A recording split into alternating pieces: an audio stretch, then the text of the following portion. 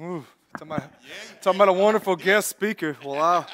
Wouldn't that just be horrible if you, you hear, hear all these great things and then the speaker comes up and it's like the worst message you've ever heard in your life, you know? You're leaving like, man, I'm confused. I don't know if I'm saved, unsaved, or what, you know? But, anyways, my name is William Wood. I'm so excited to be here. I'm so glad to be here. I just want to give a personal thanks to Pastors um, Ben and Micah for it. Just allowing me to come and share. I just, I, I just love doing. I just love sharing the Word of God. And as you can tell my, by my accent, I am from uh, South Alabama. Praise the Lord. Hallelujah. You have any Southern people here? Just me. anyway. As you know, we've been in a series the past four or five weeks. Pastors uh, Ben and Micah have done a great job with this how to series that we've been doing. And what I want to do is I want to continue in this series with a, with a message that God has put on my heart for the past five years, and that is how to manage our soul. Many of us know God has intended us to, to live from the inside out, not from the outside in? Amen? That He's called us to be internally controlled and not externally controlled. If we're externally controlled, then our behavior is determined by the condition of our environment. But when we're internally controlled, our behavior is determined by the condition of the internal truth that we live by, right? And we're called to live from that internal reality.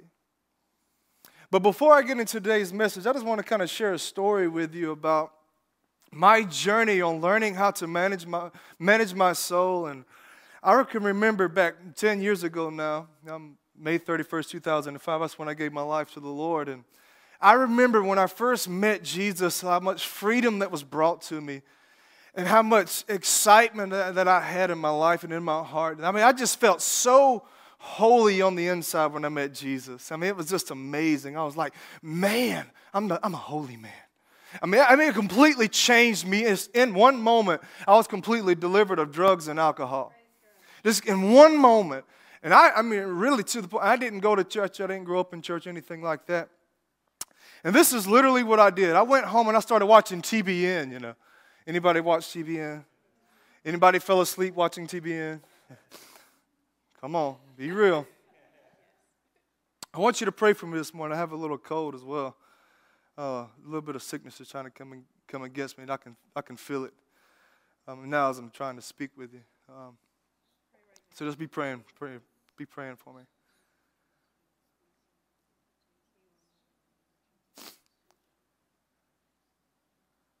But I would literally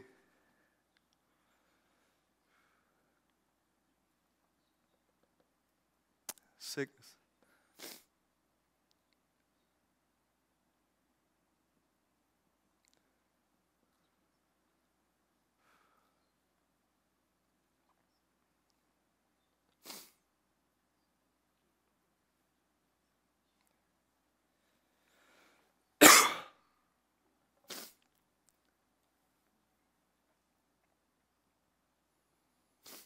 Satan will not win, right?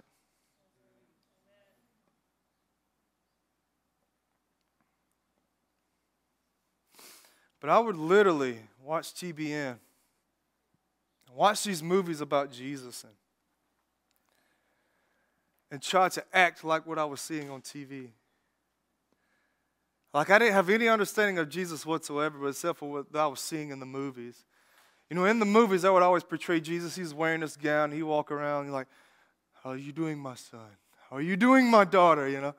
And so, literally, I was like, "You just have to know me, know my personality, I guess." But when when I changed my life, I, I when I'm gonna do right, I'm gonna do right. When I'm gonna do wrong, I'm gonna do wrong. So I'm like really extreme with the thing, those things that I do. I really give myself to them. And so what I would literally start doing, thank you. So what I would literally start doing was trying to mimic what I was watching on TV. And I was working at this chemical company at the time. And I started walking around this chemical company like, how can I help you, my son? How can I help you, my daughter? I'm like, oh my God. When I think back, I was like, man, William, you're a nut, you know.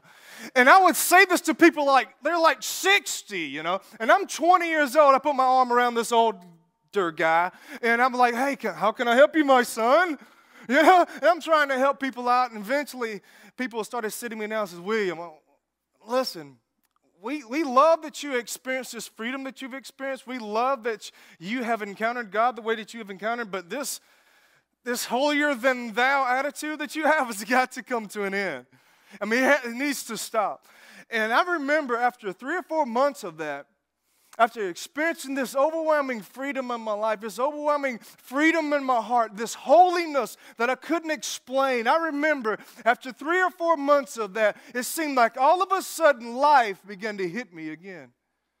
And some of you may be in here this morning, you may have experienced freedom at some point in your life. You have may have encountered Jesus Christ and experienced exactly what that, that liberty and that holiness feels like. But all of a sudden, life is beginning to hit you again. And you may be in here this morning, you may be feeling like life is having you rather than you having life. But I have some hope for you this morning. I have some encouragement for you this morning. I have some good news for you this morning. The, Jesus Christ is the same yesterday, today, and forever. That when you give yourself to Him, He will walk with you, He will walk in you, and He will live through you. Amen? And so, what I want to do this morning is I want to invite you on this journey of some things that I have learned over the years of how to manage my soul in difficult seasons in life. And as much as we love Christmas and as much as we love the season that we're in right now, how many of us know at the same time it could be one of the most difficult seasons to be in because of lost loved ones, because of memories of years past, of, of things that we've gone through. It's just another year, another reminder of something that has happened. But if we're going to learn how to manage our soul, I believe there are two facts that we must understand, that we must know before we learn how to manage our soul. In fact, number one is this right here. One of the biggest battlefields in your life is in your mind. And I have a video here to illustrate this point, a very serious video. Here we go. All right, open. Hmm, this looks new. Think it's safe? What is it? Okay, caution. There is a dangerous smell, people. Hold on, what is that? This is disgust. She basically keeps Riley from being poisoned, physically and socially. That is not brightly colored or shaped like a dinosaur. Hold on, guys. It's broccoli! Yucky! Well, I just saved our lives. yeah, you're welcome. Riley, if you don't eat your dinner, you're not going to get any dessert. Wait, did he just say we couldn't have dessert? That's anger. He cares very deeply about things being fair. So that's how you want to play it, old man? No dessert? Oh, sure. We'll eat our dinner right after you eat this. Right, right. Here comes an airplane. Ah! Oh, airplane. We got an airplane, everybody.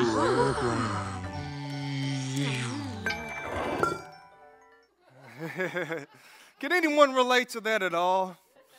Anybody with kids relate to that? How many of us know that the thoughts that you entertain determines if your mind becomes a prison or a place of liberty?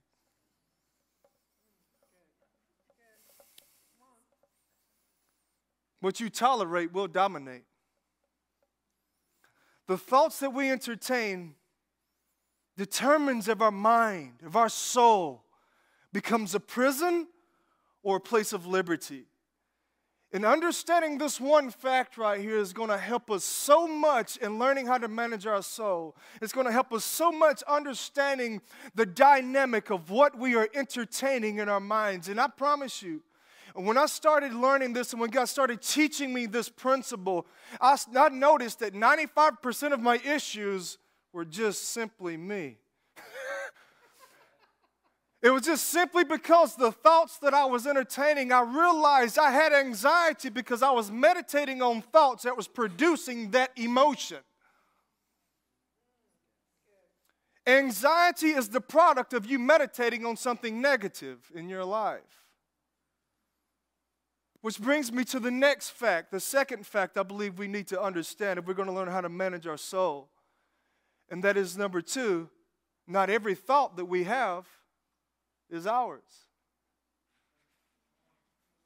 Not every thought that you have in your mind is yours. And so, what I want to do this morning is I want to share with you four sources that I've learned over the years. Four sources that our thoughts come from, and how we can learn to identify these four sources and then learn how to manage our soul. And the first source of that our thoughts come from is this right here. Thoughts come from us.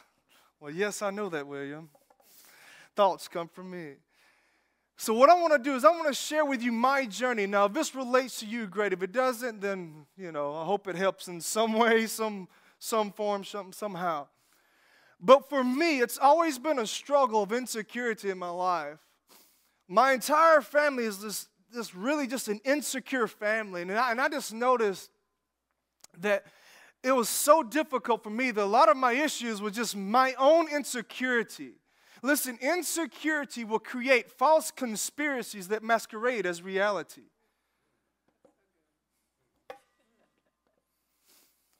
It will create this false world in your mind that you believe is real, that in actuality, it's not. I, I remember I would walk into the room and I would hear people laughing and talking, and I would think they were laughing and talking about me. And I, and I would literally start asking people, Are you talking about me, man? They're like, William, you're not that important. I'm not thinking about you. thinking about her. Not playing. I'm just playing. But I would literally go into places like that with this, all this insecurity, and I would have this false world created in my mind that was masquerading as reality. It was convincing me that that was reality and that was the way that it is. When the only thing it was was something I was believing. It was just something that I was believing in and of myself. It was my own thoughts. It was my own thoughts putting me in a place of bondage. You see, some of us in here this morning, it's your own insecurity that has you in prison. That the thoughts that you're entertaining, the prison that you're in, is a prison that you put yourself there. It's a false reality. It's not even real, and it's really not even a prison. All you have to do is realize I have put my insecurity is just putting your security in the wrong source. It's, security is finding your identity in Jesus Christ, the King of Kings and the Lord of Lords. The more you discover who He is, the more you discover who you are. The more you find yourself in Him, the more you discover your created purpose. You see, everybody's born an original, but most people die a copy.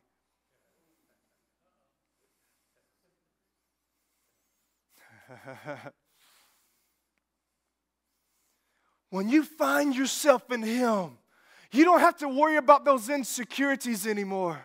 You don't have to worry about those thoughts anymore, creating these false realities, because you realize, man, I am loved by the Creator. I am I found in Him, and by identifying Him and by finding my source of security in Him, I am secure in who I am. I believe this one area right here, all of us have areas that we're dealing with of insecurity. What I feel like the Lord wants to do this morning, I feel like He wants to cut off some things this morning. He wants to cut off some false realities that we have in ourselves that we have produced on our own. And He wants to shift some things. The second source that our thoughts come from is that they come from others. What do you mean? How many times have someone said something to you and then you went home and just thought about it over and over and over and over, right? It's like they deposited this thought in your mind, and all of a sudden you have made this thing to become more than what it is, right? I've been in conversations and people just you know, flippantly said things, and I went home like, man, what do they mean by that? And all of a sudden, I just went off into this whole different area that it should have never been. And what I noticed with my own life is it was the voices of the people that always hurt me. It was that unforgiveness that I had towards people that hurt me. And even though they may not have been in my life for the past five years or 10 years, just the memory of them, it was as if they were still present in my life. You see, unforgiveness tethers you to the past. Unforgiveness is the lifeline, is the lifeline that empowers the past into your present. Even though that person may not no longer be in your life, but they're still tormenting you because the, what they said to you, what they did to you is still present in your memories. God wants to so renew your mind, He wants to redefine your memories.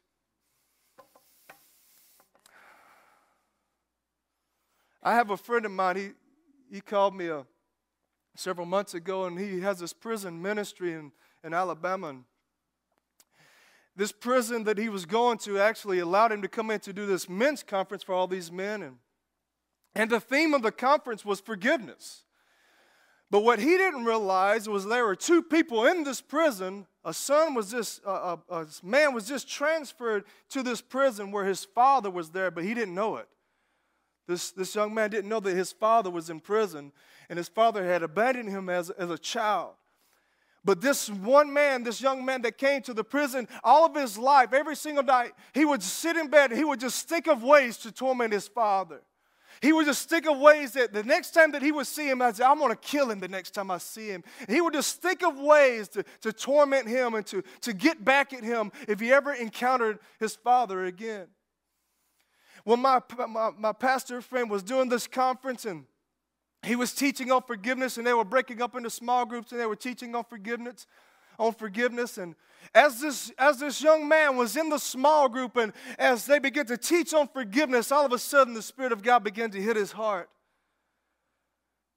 and he began to just break down and weep and he, and he began to say to God, God, I don't want this unforgiveness in my heart towards my father anymore. And as soon as he said those words, guess who he saw? He, he saw his father. And immediately, this, this war began inside of him of all those emotions trying to overtake him against it. I want to kill him. He has hurt me. He has beat me. He has broken me down. And he had this war going on inside of him, but he knew in his heart, he said, I, have, I need to do something about this. Then they all got back together in the main conference, in the main auditorium, and, and this boy was sitting there and he was just broken on the inside. And He says, I have to do something about this. He walks up to my pastor friend and he says, Can I have the mic? I have something I need to say. He grabs the mic and he, he walks down. He looks at his father. He says, he says, Dad, he says, You have abandoned me, you have neglected me, you have beaten me, you have molested me, and you have done nothing but been a deadbeat father to me. But here's what I say to you I forgive you. And immediately the power of God comes into this conference, comes into this prison, and every single man in the, in the prison begins to weep and begins to forgive people and begins to walk in the power of forgiveness, letting the people go that have hurt them in life. And every single man in that prison gave their life to the Lord. Amen. Some of us may be in here this morning, and you may be locked in this prison in your soul. And the voice that took you there, or the voice, is the voice of the people that's hurt you the voice of the people that has spoken negative against you, that you have harbored in your soul. And I like to call this place a place of reflection because the only thing you can see is the pictures and the faces and the voices of the people that have hurt you. I believe God wants to cut that off this morning. I believe God wants to set you free from that place of reflection. I believe God wants to set you free so that you can begin to hear His voice and to begin to hear His truth into your heart. You see, when the Lord finally began to deal with me about this, I started calling people. Even people that I heard, I called every single person that came to my mind that I ever heard and I asked them to forgive me.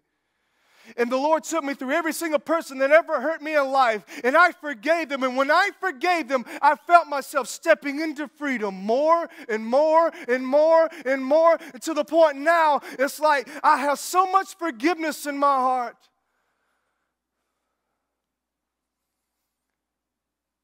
To the point where people's actions no longer determine my actions. Your bad actions will never determine my good actions.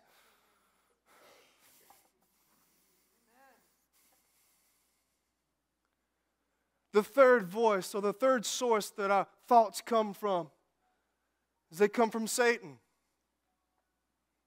How many of us know this?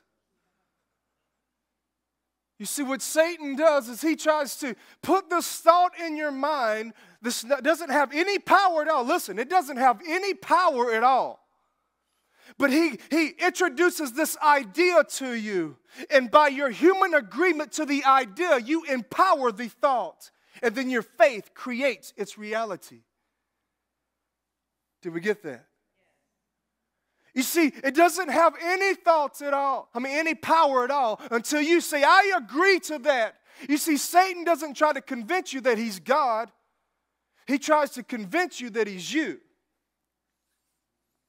He tries to convince you that that thought is your thought.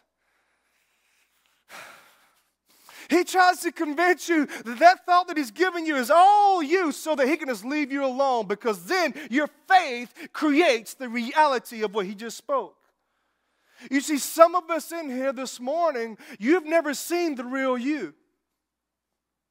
you when you look in the mirror, you're just seeing the image of the lie you're believing. Because when you listen to Satan and you believe his lies, you literally become the image of the lie you believe. You see, some of us in here this morning are looking in the mirror. And we, we, you, and you're hating yourself, and you're, you're d- disgust with yourself, and you don't realize you're just, you're just at disgust with the lie that you're looking at in the mirror. But Jesus wants to come and give you truth. Jesus wants to come and let you look into the mirror and see yourself the way you were created to be. You see, I didn't realize I had a voice. I was convinced that I didn't have a voice. I was convinced that no one could love me. I was convinced that no one would ever listen to me when I would stand up. But now I know that I have been anointed to preach the word of God. Now I know I am a son of the Most High God. Now I know I have a voice that carries the Father's authority, that when I speak, people's lives get changed. I refuse to allow lies to conform me to their image.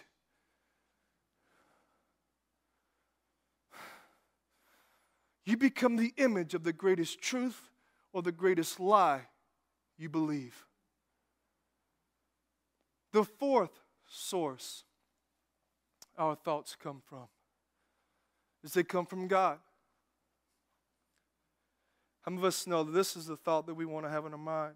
Romans chapter 8, verse 6. I know I'm just now getting to some scripture. But that's okay, right? For to be carnally minded is death, but to be spiritually minded is life and peace. To be carnally minded is death, but to be spiritually minded is life and peace. Listen, every thought that comes from God is going to produce two things in your life life and peace. If, what, if, you're, if you're a believer this morning in the life that you're living and you're not experiencing peace in your heart, then you may need to evaluate if you're listening to God's voice or not. You may need to evaluate who you're really listening to because if you have the thoughts of God in your mind, in your heart, you will be a person of peace. You will walk in wholeness. Amen. You will walk in this overwhelming life inside of you. You see, what I want to do this morning is I just want to take you on this place of learning how to manage our soul now. I've taught you, uh, or I showed you four sources of how to identify where thoughts come from and where these voices come from so that we can know the angles that, that the enemy and the, and, the, and that things are coming against us as. But now I want to share with you just three simple steps Something I do all the time on how to manage my soul. And the first one is this right here identify God's truth. Simple, right? John 8 31 and 32 says this. So Jesus was saying to those Jews who had, who had believed him, If you abide in my word, then you are truly disciples of mine. And you will know the truth, and the truth will make you free. Isn't that amazing? How do you know you're believing a lie if you don't have truth to compare it to?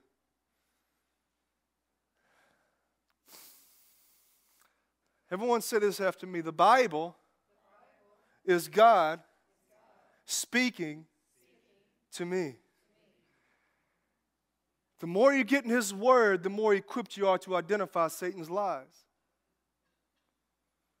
Truth always will expose a lie. Every time you embrace a truth, you destroy a lie. And so, what I started doing in my life is I started just identifying God's truth about me. God, what do you say about me? God, what does your word say about me? And every time I, I identified his truth, it, sh- it revealed in me a false belief. It revealed in me a lie that I was believing. But then I still had a choice to let go of this lie and take a hold of this truth or just remain holding on to something that I've held precious for so long that has now become part of my identity. Some of you in here this morning, you may have believed a lie for so long that now you're afraid. It's become part of so much part of who you are. Now you're afraid that the truth is not as good as they say it is. You see, listen, truth is the universal key to the door of bondage. Truth provides the opportunity for freedom, but it's still upon us as people to step into the freedom truth provides. Are we okay this morning? Some of us are sitting in this prison cell. We have truth has opened the prison cell. Truth has opened the door, and we're sitting there saying, I'm afraid to step into the freedom truth has provided. Listen, what I want to do this morning is I don't feel like God wants to do this morning. He wants to give you the strength to embrace His truth.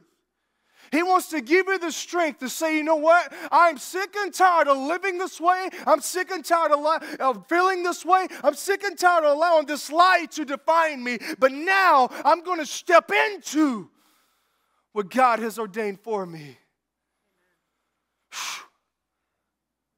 The more I started doing this, the more I started seeing what God has put purpose, purpose for me, and the more freedom I begin to walk in as an individual, and the more I learned how to be internally controlled, and the more I was able to go inside any environment and become an influence into that environment rather than the environment becoming an influence to me.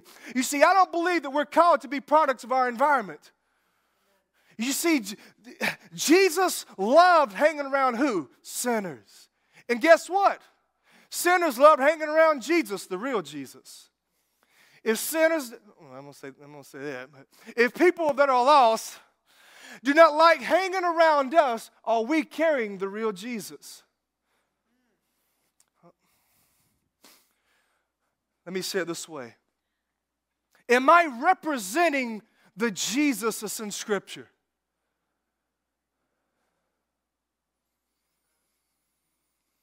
And people that hang around me and they don't love me and they don't say, hey, man, I just love being around this guy.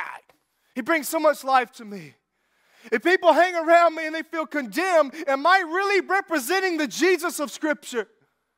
Because people love being around him. God wants to bring truth into your life this morning. He wants to awaken your soul this morning, and He wants to allow that truth to expose every area that contradicts His word. The second way of managing our thoughts is removing our false beliefs. Number one, you have to identify God's truth. You don't know you're believing a lie until you have truth to expose it. But then you still have this choice. I'm, am I going to remove this lie or am I still going to entertain it? Am I still going to allow it to abide? You see, I've chosen to live my life in a way where I refuse to believe anything that's not in Scripture. I refuse. This Scripture is the foundation of my belief system. Anything else is not worthy of it. And we allow truth to become the foundation of our belief system. all of a sudden we are empowered and we are equipped to look at those lies of Satan and say, No, I'm not listening. I'm not entertaining this anymore. But we have to be humble enough to know that truth that God has, it may be a little scary. And we may have to change. We may have to change. That's the biggest issue for us as people is the changing. It's the can I really do this? Can I really change? Second Corinthians chapter 10 says this. For though we walk in the flesh, we do not war according to the flesh. For the weapons of our warfare are not carnal, but mighty in God for the pulling down of strongholds, casting down arguments, and every high thing exalts itself against the knowledge of God, bringing every thought into captivity to the obedience of Christ. Wow. Listen, strongholds are developed in your life through patterns of thought that are inconsistent with God's word. Did I just say that okay? Strongholds are developed in your life through patterns of thought that are inconsistent with God's truth, God's word. The Bible says to take every thought captive. It doesn't say take some. It doesn't say take every negative thought captive because that's, what we, we, that's the way we read it, right? How many times, how many times do we only rebuke the negative thoughts? How many of us know Satan's okay with you going to hell with a positive attitude?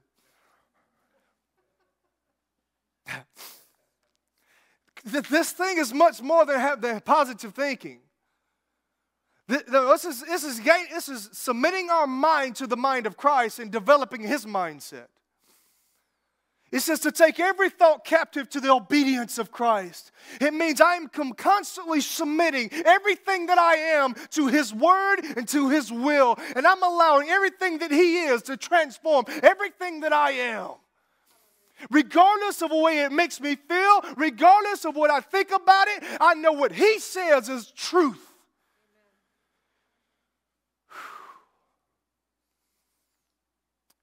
See, I love encounters I love experiencing the presence of God, but I don't allow my experience to guide my beliefs. Experience apart from God's word will develop false beliefs that lead you astray. Every experience or every encounter I have with God, I'll always take it to His word. If I have an experience that contradicts His word, then guess what? That experience may not have come from the King of Kings and the Lord of Lords. It's time that we start submitting ourselves to God's word. It's time that we start taking our every thought captive to the obedience of Christ and allowing Him. Come on. I'll get excited if nobody else will. To change everything that we are. I talk about learning how to manage our soul. I really had to put these principles into action three years ago when my brother was murdered. And I had to go to the murderer and I had to be able to stand there and look at them and be okay. And I had to preach my brother's funeral. It was a difficult time to have to look at that person and say, I forgive you. It was hard. It was a hard thing to go through. But these principles got me through them. I didn't allow myself to slip under a lie. I didn't allow my myself to fall away from what I knew was truth. I did the third thing right here is I developed a godly thinking pattern. So that's how you manage your thoughts. That's how you manage your soul. Is number one, you identify God's truth. Number two, you remove false beliefs. And number three, you develop godly thinking patterns.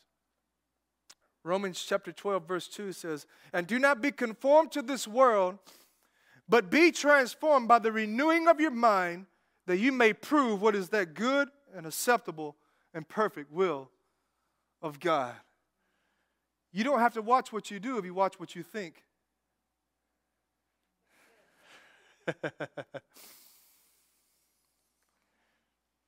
you sow a thought, you reap an action. You sow an action, you reap a habit. You sow a habit, you reap a lifestyle. You sow a lifestyle, you reap a destiny.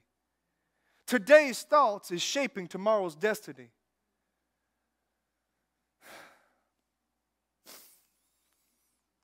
There's a divine connection between what you're thinking right now and what you're fulfilling tomorrow. What you're thinking is much more important than what you realize. What we are entertaining in ourselves is much more important than what we realize. The Bible says, it puts it, it says, do not be conformed to this world, but be transformed by the renewing of your mind, so that you may be able to prove what the will of God is. The renewing of your mind is the unveiling of God's will. The more your mind is renewed by His word and His truth, the more His will is revealed to you. And the more you're positioned to prove His will, so that you may be able to prove what the will of God is, that which is good, perfect, and acceptable. Wow. Isn't that amazing? God has put such an emphasis on the transformation of our soul, on the renewing of our mind. I feel like us as believers, we need to start paying a little more attention to it, right? I feel like what God wanted to do this morning is He wanted to deposit something into us as a body of people to help us navigate through life and help us navigate through the things that the enemy tries to throw at us, that life tries to throw at us. And I promise you, as you apply these principles, you will realize that 90% of the, the issues are just found right here. Jesus said stumbling blocks are inevitable, which means stumbling blocks will come, but I feel like we create 90% of them. I believe our faith attracts more than what we should encounter. Every eye closed and every head bowed. I just want you to repeat this after me. I am a son and a daughter. I have the mind of Christ. Soul, I command you now to think with the thoughts of God. I am walking in freedom. I am yielded to the Holy Spirit. And I thank you, Jesus, for setting me free. In Jesus' mighty name. Amen. Chantel, could you just come on up for me, please? I have asked Chantel to um, come stand over side for me, to get together some words of knowledge for me. But what she doesn't realize, what she doesn't know, is that I'm not actually going to let her give words of knowledge this morning. I have something else in mind, something else planned that I want to do. And you get to be part of it. So, you, uh, are we okay with that? I'll purposely try to shorten my message for this, so bear with me, okay? But there's some things I just wanted to share with Chantel, and I was wanted to let everyone here know about it because this is my church family. You know, 18 months ago, Chantel, when I moved to Pennsylvania, I didn't tell you this, but um, I basically lost all hope that I would ever find someone that I would want to spend my life with.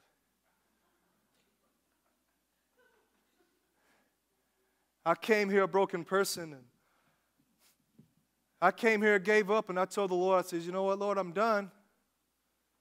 I'll just live my life single and I'll just preach the gospel and I'll be okay.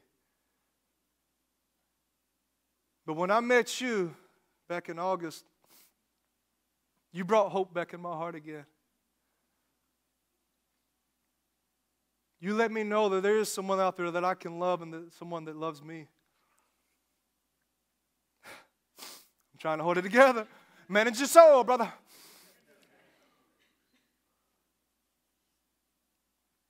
I told you I wanted to do something for you that you didn't know it would be a complete surprise. And I couldn't think of any other way or any better way to, than to do this and then to share this with you is that Chantel, I love you with all my heart. And when I met you, I realized within a couple of days that all my tears and all my prayers for the past 10 years had, had come to a fruition. And they were standing before me. And like that pastor told me, he said, William, God will never bring her to your doorstep. And that's exactly what he did with you. We live in the same house, we don't know. Not in the same, you know, anyway, I want to go there. We live at the convent with a bunch of other people. And God literally brought her to my doorstep. And so, Chantel, Rose, Paquette, will you marry me?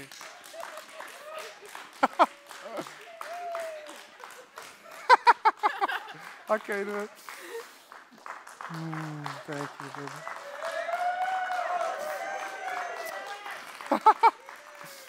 she said yes, so. Anyways, you can sit down maybe. Uh, one more illustration on how to manage your soul. When you saw me shaking earlier, it wasn't just sickness. I was freaking out. and so I had to put these principles into action immediately, on the spot, before your eyes. So, Chantel, I hope that was special for you, but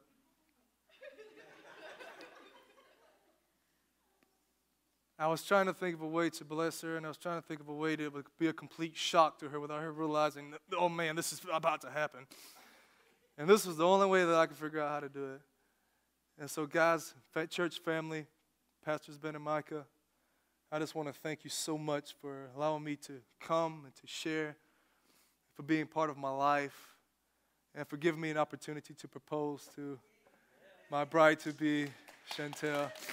Let's give it up for Jesus.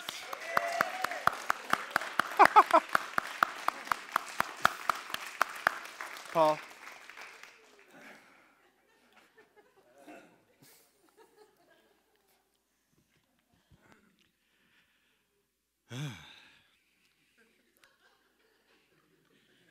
Chantel, can I get you to come up here again?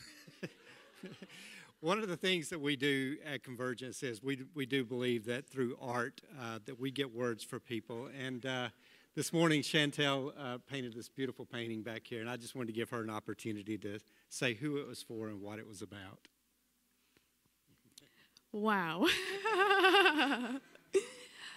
Good morning, church. Um, I painted this white rose. It has um, edging with uh, gold around it and um, pink and purple. And I feel like it's for you, um, Sally's daughter. Sally's daughter, Rachel. Um, the Father says you are pure at heart, edged in gold, that He is passionately pursuing you, clothing you in royalty. My beautiful rose, you are a songbird. You will bring freedom to many through your songs.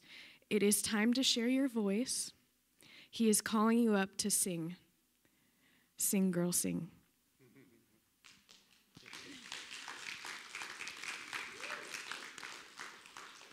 Yeah, and, and before we do offering this morning, uh, I wanted to lead us into our, our time of communion. Um, in front of you, in the seat backs, you'll see a little communion cup. And for those of you that are sitting in the front row, I do have them for you as well.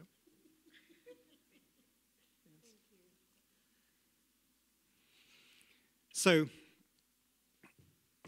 on that night in the upper room, the disciples came with Jesus and they came into this celebration. It was a, basically a feast. And about midway through that celebration, things began to change. Everything got very solemn, and there was accusations of, of deceit and treachery that was uh, brought about. But in that time, something else happened. The disciples were confused. They had no idea what was going on. And then Jesus picks up a cup and a loaf of bread and breaks the bread and tells them that it's his body to take it and eat it. They also, um, thank you, they also um, brought out a cup of wine and they took this wine, saying, This is my blood shed for you. Take and drink. And nobody knew what this meant. But here we are 2,000 years later, still remembering Jesus in this way. So, um, if you're not familiar with your communion cups, you have a wafer in the top. You just peel back the top of it. And what I want to do is I want to bless this, and then we'll remember Jesus in his way. So, Heavenly Father, we just thank you for these elements.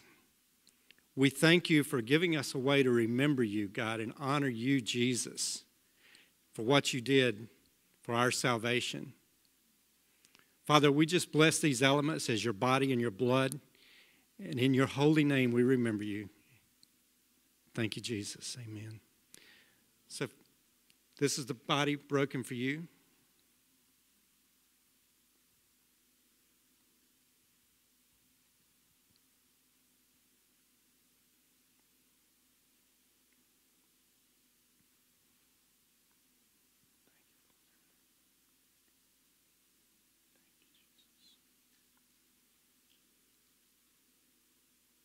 If you'll lift up your cup,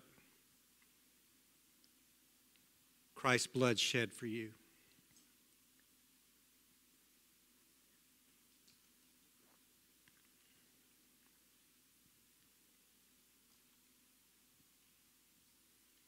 It's just another way that uh, Christ has never changed. Just another way.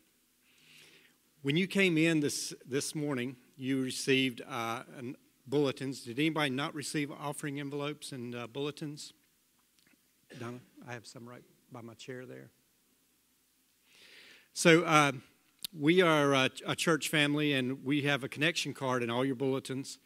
Uh, if you haven't already filled out your connection card, please do so. If you're a first or second time guest, uh, please put in all your information. If not, uh, if you've been here for quite a while and you've been here more than twice, just check the box marked family for us, and we'll drop that in our offering envelope as our offering goes by today. Um, before we receive the offering, I just uh, want to tell you uh, something that came to my mind uh, as I was reading my Bible readings this week, and it came out of Romans chapter 7. And in Romans chapter 7, it gives a, uh, it, it basically says that it, the descendants of Levi would become priests and that they would take offering. And there was, this, there was a king that, um, that actually went to Abraham. He was not a descendant of Abraham or, or of Levi, yet he asked for a 10% offering from, from uh, Abraham, and Abraham freely gave it. And through this, even though it wasn't through the, a descendant of Levi, he was blessed, and he was blessed highly. And that's what we do this for. We do this for, for blessings, not only for our church and for ourselves, but as to honor God. And um, it's one of the things that we found in our lives that have helped, uh, help bless us, and we do it joyfully, and I hope that everyone does too. So if we can get every, uh, my couple to come help me up and, with the offering this morning. And Father, we just thank you for this offering that, that we're about to receive. Father, you know the needs of Convergence Center and you know the needs of this church and the community, Father. We just bless this uh, portion that we give back to you, Lord, as yours. Father, we give our best to you first and we hold the last till, to later. Father, we just ask that you multiply this blessing and this offering this morning in the name of Jesus. Amen. So, William, uh,